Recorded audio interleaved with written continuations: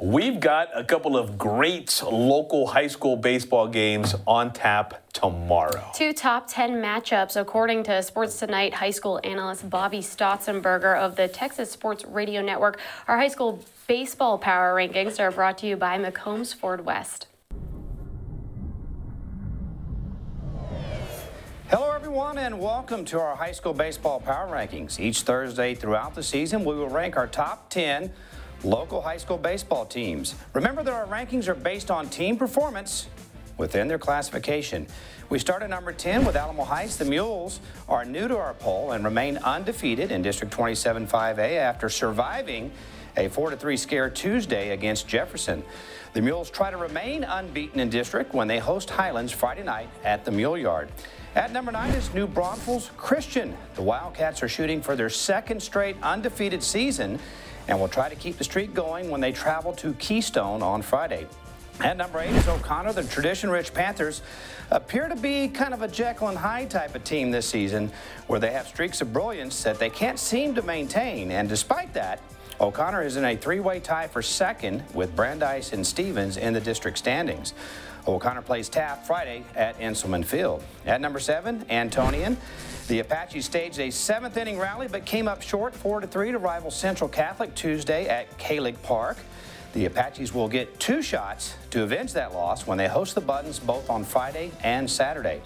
At number six is East Central. The Hornets have won three straight and are emerging as a real power for the 2019 season. The Hornets beat Clemens Tuesday night and hope to sweep the Buffaloes Friday night when they visit Clemens in Schertz. At number five is Central Catholic. The Buttons got a 10 strikeout performance from Arkansas-bound Calvin Marks to lead Central to a 4-3 win over rival and number 7 Antonian on Tuesday.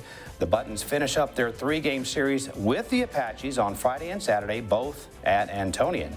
At number four is Boerne Champion. The Chargers are still undefeated at 9-0 in a tough district, which speaks a lot uh, how strong this uh, Boerne Champion team is this year. The Chargers travel to Tejada Field on the south side this Friday to take on the Harlandale Indians. At number three is Brennan.